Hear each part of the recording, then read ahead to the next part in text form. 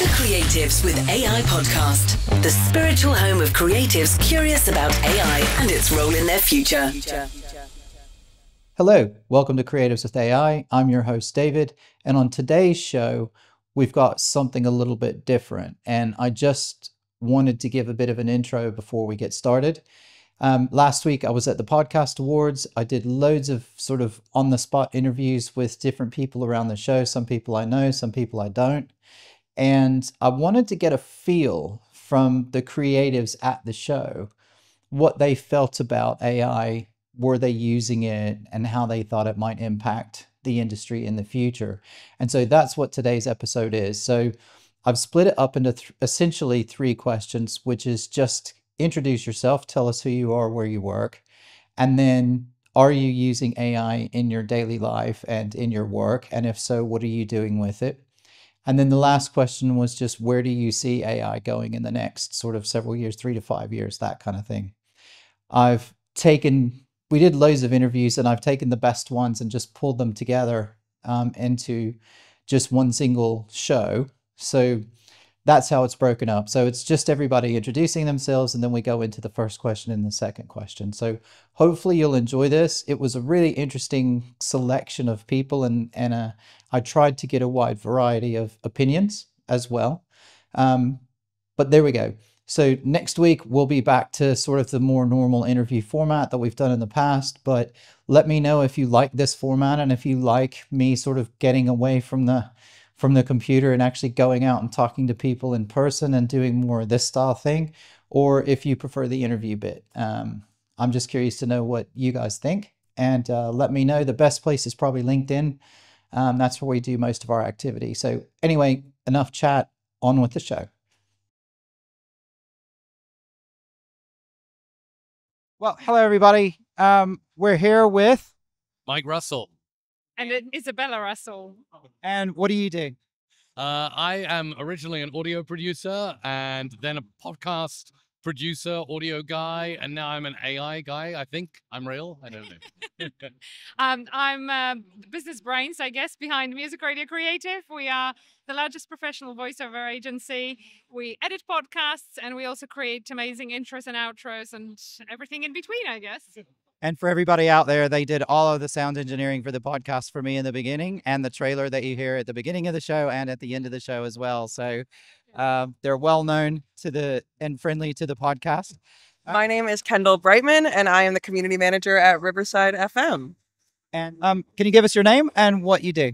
I'm Matt, and I'm a podcast producer in easy, simple terms. Excellent. Yeah, really good. So, hey, you ready?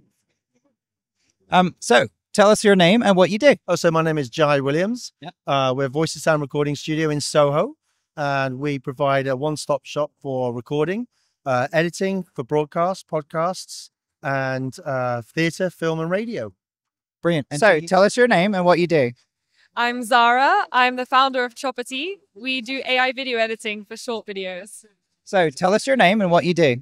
My name is Fiona Fraser. I'm director of Pow PR. Okay, can you tell us your name and what you do? Yeah, sure. My name's Katie. Um, I'm a general freelancer in audio, but I'm here today because I work for the Radio Academy, um, which is a UK charity for the whole of the audio and radio industry. Right. Hello. Can you tell us your name and what you do? Yeah, sure. Uh, I'm Frank. I work at Spreaker. I mainly work with advertisers. I mean, I help them invest their dollars wisely into podcast advertising. Okay, so can you introduce yourselves, please, and tell us what you do?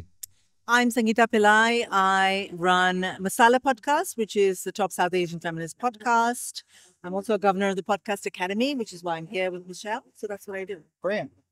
I'm Michele Cobb. I'm executive director of the Podcast Academy, which is a membership organization, and we do the Ambie Awards. Excellent. Brilliant. Can you guys, I'm just going around today and just asking people how they're using AI in their businesses. I don't know who wants to go first. I will go first. Go okay. First. I'm really excited. So, uh, do you know what? My favorite use of AI, actually on this stand, is this. So look at this. We do beautiful uh, merch with AI. So this is Midjourney, and I absolutely love Midjourney. If you go to our website, actually, every single image in there is from Midjourney, and people always comment and say, "Oh my gosh, who designed it?" And I'm like, me. Surely it counts if I'm the the prompt engineer behind it. So yeah, I love it. Like so, Midjourney for me is a must. Um, I use it all the time, and I'm very proud to say I don't use ChatGPT for prompt engineering. I do it myself. There you go. there you go. And for me, I'm using AI in a multitude of ways. I love voice cloning, so I've cloned my voice with ElevenLabs. I'm also thinking that I'd like to make a synthetic avatar of myself. I actually teach it on my channel, Creator Magic. I delve into the tools that content creators can use, and it's just a really exciting space. Just like Izabela, I use Midjourney for thumbnail design. So I'll make something in Midjourney, then I'll do a face swap and put my face on the thumbnail. And then I use a bit of Adobe Express to do the text and things like that. So just any tool. And I love things that are new and shiny. So I'm always looking for the next exciting AI tool. Brilliant. And Kendall, do you use AI regularly? Yes, I do. Oh, yes, I do. uh, almost daily. Yeah. Go on. Um, yeah, so because I'm using Riverside, uh, we have a ton of AI tools built into it. So I'm using AI almost daily when it, whether it's recording, transcripts, show notes, everything like that. And what do you find? What do you like the most about it? I like the most about AI is that you're able to do a lot more in less time. So you're able to really like streamline what you're doing and also kind of offload what you don't want to do. Right. Yeah. Yeah. So that's what I love about AI. And what do you not like about it? I think what I the thing that I don't like about AI is that I think that sometimes it's missing a human factor in the way that if I ask it to make something like a social post, it'll say something like level up your social post with, Yeah. you know, and it kind of it can be a little bit robotic. I know you can train them to speak more in your voice, but I think that that takes a little bit of time in the like time in the beginning to really pay off later. Yeah. You know, you have to train it. Yeah. That can take time. That's true. Yeah, and so when you're trying to streamline something, when you love AI because it streamlines your time, the idea of training it can feel counterintuitive. Yeah. Yeah. No, that's fair enough. Excellent. And do you use AI at all in your workflow? Yeah, like every day, everything, every step of the way. I'm using AI. I'm using AI to help devise scripts, work out um, lines of questioning. I use AI to do research. I use tools like Perplexity to allow me to get real time information. Um, recording, not using AI, although you could say that using uh, some of the teleprompter functionality that has AI in it. Uh, and then post production, I'm using audio restoration tools all the time. I'm using editing supporting tools like Autopod that help me change camera angles. Um, it uses workflows to help create social content as well. And then, yeah, show notes and aggregating data after it. Yeah, all of it. All of it, like me. I use all of it, everything I can use. Yeah. Brilliant. And do you use AI in that workflow at all? Uh, not at the moment. Um, we receive AI uh, when we're doing uh, documentaries, when they do the placeholders where the narration's going to go. Some of that's AI and then it gets replaced. Okay. Uh, for us, I mean, AI voicing is, is as you well know, is a very um, contested area at the moment. Yeah. Uh, we've had to turn some work away because I think that we will lose voice artists. They won't work with us if we if Yeah. we do. But otherwise, I think some tools, audio cleaning, Yeah. audio prepping, uh, some of the AI tools that are going to come in for sound engineers are going to be fantastic to to allow us to uh, our workflow to be faster. And some of those tools I will use for sure. Yeah, absolutely. And I think it's going to help a lot of people who maybe don't have the skill. Yeah. It it's somebody just said in the last interview going from zero to one. Yeah. And it's going to help the new people, but the I think there's then getting one to ten is a whole different thing where we still want the human touch. Absolutely, I agree. I think uh, AI is going to help anyone. The problem is, is how they use the AI. There's always a fear of someone that doesn't know what they're doing using AI. If you don't have the underground skills of editing Yeah. and what you're creating, you still need the creative input from the from the professionals. Yeah. But it doesn't mean to say that you can't do it yourself. Of course you can. Yeah. You know, I mean, and I think it's a great tool. It will be a great tool. So it makes them, I would say, a bit more engaging content. Right. I do believe that it will help people to make better content. It will for sure. Great. Yeah, yeah. And so, so since you're doing AI editing, I assume you're using AI every day. Using AI every day, more than I would like to be. And how are you finding it? Is it? That's not what I want to ask. Um, how are you using it? How do, how do you use it in your work? I don't actually use it directly in my work. I use it in my products. but not directly in my work. Yeah. So you, That's, that's not even true. I use a lot of a lot of ChatGPT um, so that I don't have to start from blank canvases. I find it really helpful also for reformulating how I've written things. I can speak in a really casual way, which uh, can come across quite unprofessional in a lot of contexts. so I get I get ChatGPT to just tidy it up and make things seem a little bit less, um, yeah, familiar. okay, that's a good use of it. And we were just talking a second ago, and you said you had some pretty strong views on AI. So the microphone is yours. It's uh, yeah. I've actually had some conversations today, quite a lot of conversations around AI, especially um, the podcast show in London where we're at now.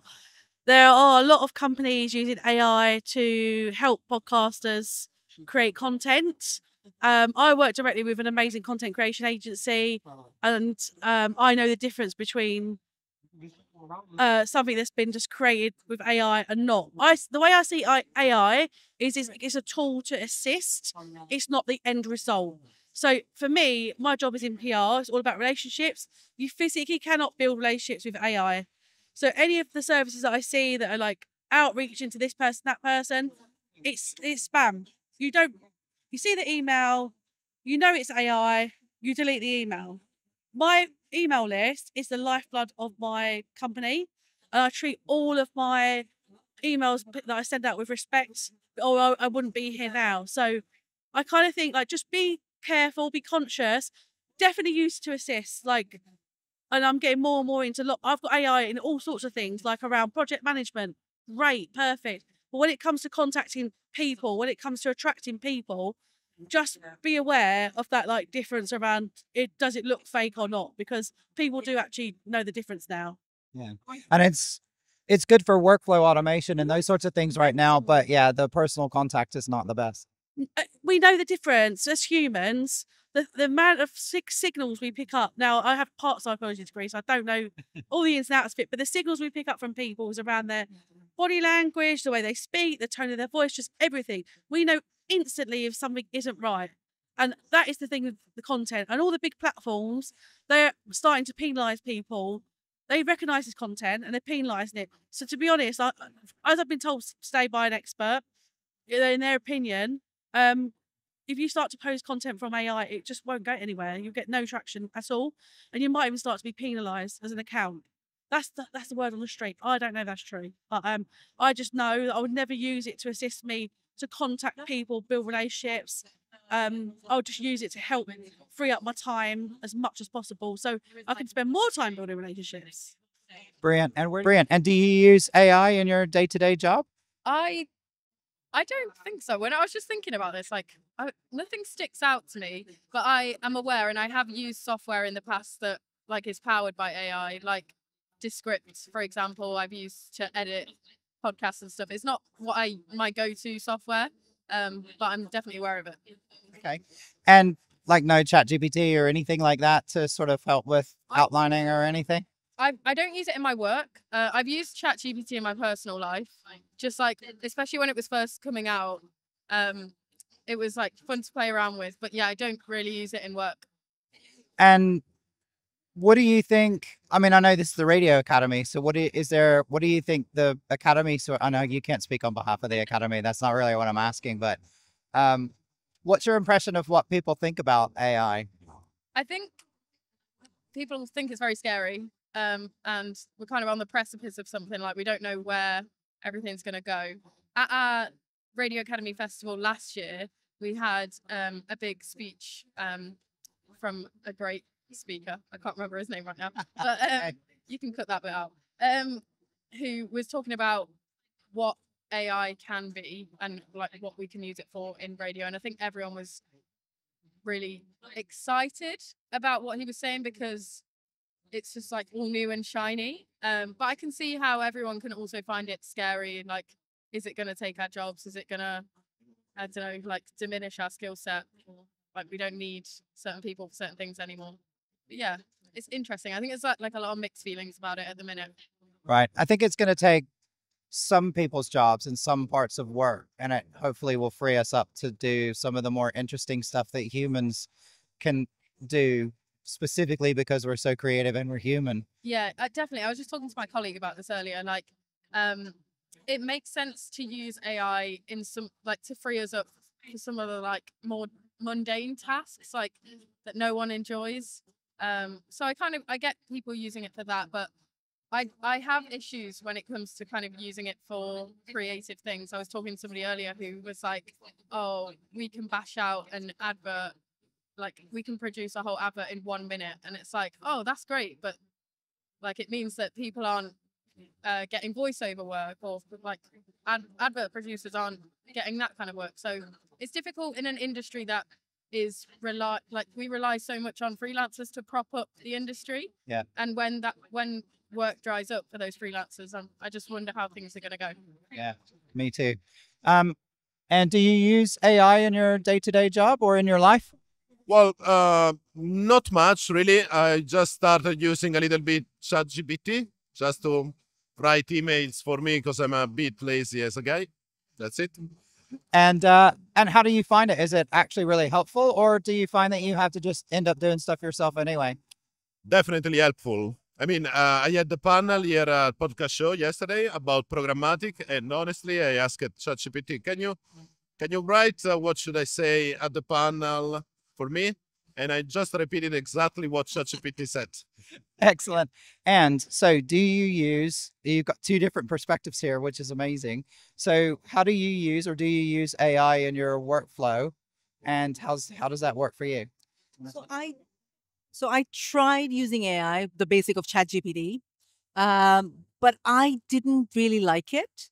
So I'm a writer fundamentally. Right. I identify as a writer, and I got sick of the tenth time it said deep dive into something, and I'm like, that is not what I sound like. And I take a lot of pride in what I write. So whether it's social media, whether it's a newsletter, whether it's podcast notes, whatever, you know. So it didn't really measure up. And I tried doing the training your AI thing. That didn't work for me either. Oh. The problem I think with AI is it's very Western focused. So my podcast is a South Asian podcast, right? And we use we speak in English, but there's a thing called Hinglish, which is like between in Hindi and English. And we might say a certain thing a certain way. It's very difficult to train AI, which comes from the West, to try and, you know, do that. I'm hoping that there's some sort of Indian company that comes up with something. The other uh, interaction I had with AI was um, there was a translation software that used AI to translate. And last year, I was sitting in a panel exactly here at the podcast show, and someone said, "Oh, we've translated Spanish and Hindi and whatever," and they played it. At the end of that, they're like, "Oh, what did you think?" And I put my hand up and I said, "That Hindi is like Shakespearean English. Like nobody speaks like that anymore." Right. because your source is whatever you've got it is very old, decades old. But I think what's good though, I've just had um, a conversation with somebody else. I forget their what wonder something, and they do translations. And I heard the Hindi one, and that's a lot better. It's a lot more spoken. You know how you speak is very different, right? And it's using language that's off now rather than sixty years old. You know. It's kind of like Pi because I- don't know if you've used Pi, uh, the AI tool. No. But the difference between Pi and, and say an uh, like a ChatGPT. Yes. Is that Pi was trained using audio and video. Yeah. So it's the way it speaks is more like a human would speak instead like of being that. trained on academic text. which Yes. Oh, that's so interesting. I didn't know that. So it depends on the set that you use to train Yeah. it. So maybe that Hindi tool was used on training. Yeah. Like recordings and Yes. sort of thing that had been transcribed. And Yeah. then you get the video and the audio. Yeah. And you get the Yeah, kind of yeah, yeah, and yeah. everything that goes. Wondercraft. I just remembered what the name of Wondercraft. Okay, great. That was a lot better. Yeah, that was a lot. I heard it and I was expecting it to be like, oh my god, here we go again. Yeah. But actually, it was really, really good. Great. So that was good. So I've used AI in a couple of different ways in terms of scheduling. So my email system sends me like, "Oh, you should follow up." Turns out I'm pretty good at that, so I'm usually like, "Oh, I've done that." But that's a nice prompt. Uh, I will sometimes use it if I have to write marketing copy, just as a prompt to say, "Okay, this is giving me some thoughts," and then I can write it. So it, it just kind of helps as a tool. That's the way I've mostly used it. And uh, in terms of asking questions, it is good for academic texts. If you're like, what happened in the War of 1812? It can write you a nice summary. If I just need like a really quick answer on something like that. Mm-hmm. Brilliant.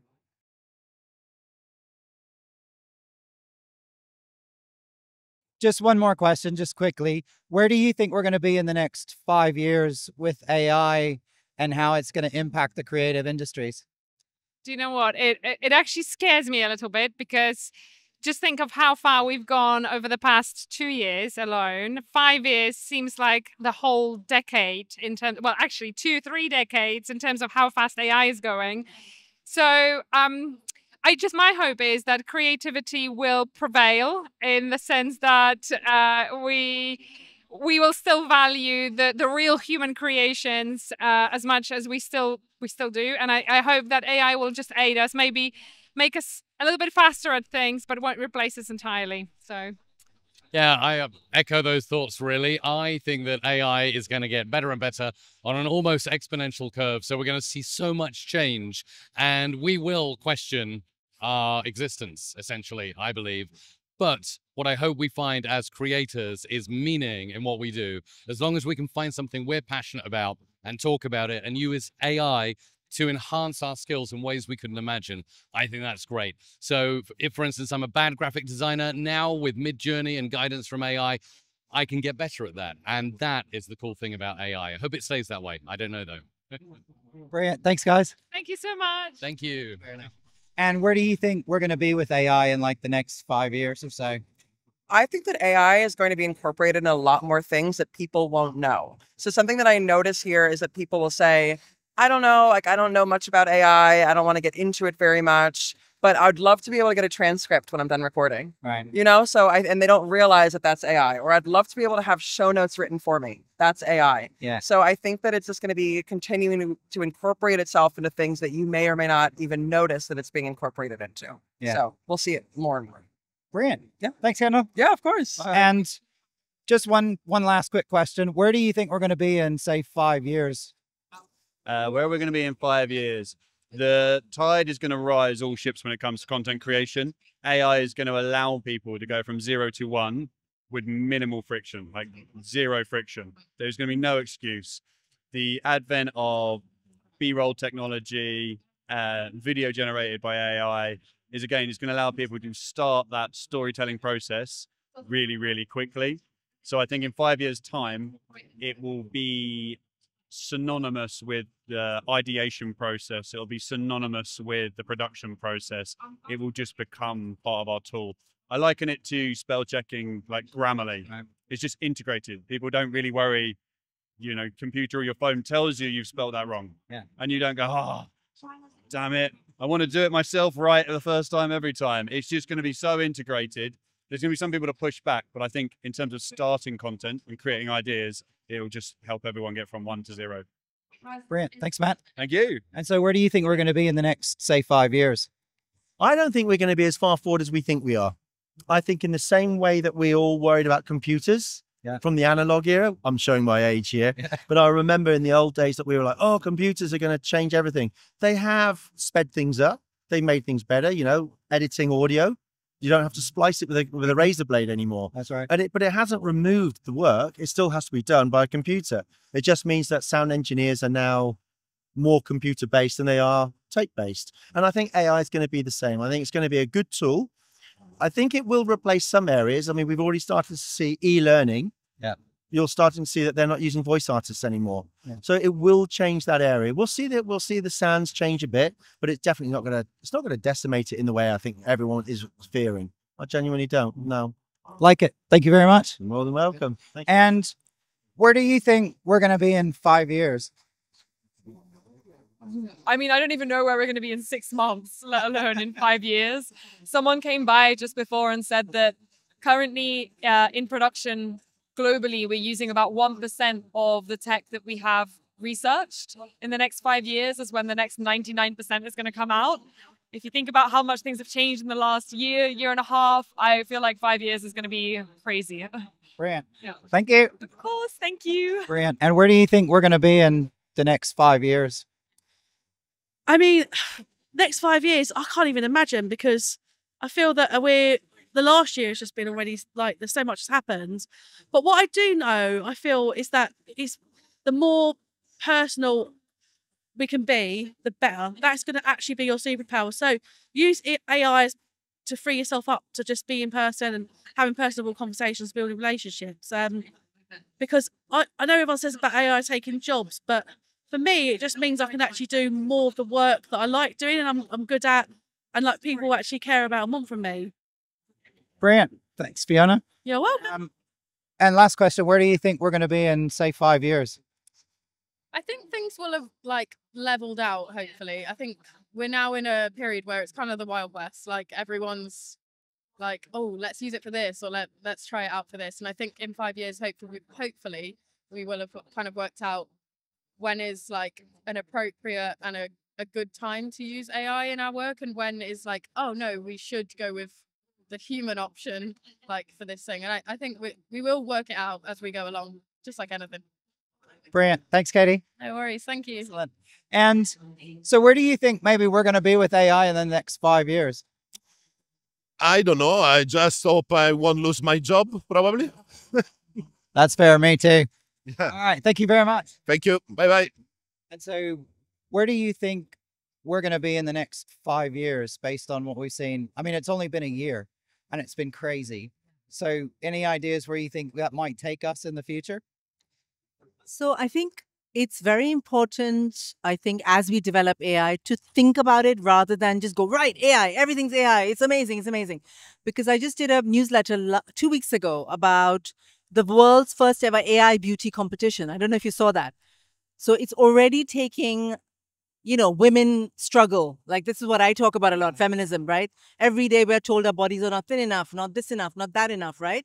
And then you create an AI, basically a fake body and now you're telling us to measure up to that like that's really not cool and so there's that kind of stuff and the models that are being used in a lot of advertising campaigns are ai and it's unrealistic so you're already adding you know what uh, the i think 80% of kids under 12 think their bodies are not good enough I mean, isn't that crazy? It is crazy. So imagine if we build, bring this into the world without really thinking about it. So I think what I'm saying is, I'm not saying it's good or bad. I'm just saying whatever we develop, I don't know what that is. I'm not an AI expert. We need to think about it and use it to help us. What Michele's saying, scheduling, maybe translation, stuff we don't really want to do, rather than say, all human beings are now going to be replaced by AI, you know, which is just rubbish, I think. Have you seen the Dove ad, the recent? Yes, I thought it was beautiful and I talked about it and I thought it was wonderful. They've done That's such a good job. Over that's what we decade. Yeah, almost, they've been doing absolutely. Sort of campaign. Yeah, absolutely. Beauty? Absolutely. And they did a whole thing on AI. I, I think you saw that. Yeah, yeah, That was really good. Yeah. So that's where I think I hope it goes. yeah. Thank you. I'm seeing AI come into the voice space for audiobooks and podcasts, of course. Mm-hmm. And unfortunately, what I'm starting to see is the negative side, how it can be used to recreate someone's voice and steal the voice also, but also be used in a nefarious manner because you can now create mm-hmm. what sounds like a phone call from you to get money, to talk you into doing something, to make a business transaction for you that was not asked for by you. So I do think it's a great tool, and I think that there are some positive uses for it, especially around um, accessibility. But I'm really nervous that we don't have good guidelines, and the way I'm seeing it used more and more often is in a way that is potentially harmful. Yeah. So I'm nervous, I guess I would say.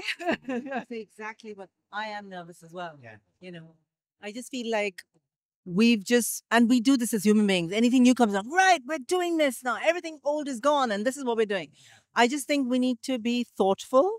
We need to use it to help us, but not let it become our reality. You know, whether that's, you know, imitating people's voices and scamming people or making women feel bad about themselves. That's not cool. I agree. Thank you very much for your time. Creatives with AI is a proud member of the AI Podcast Network.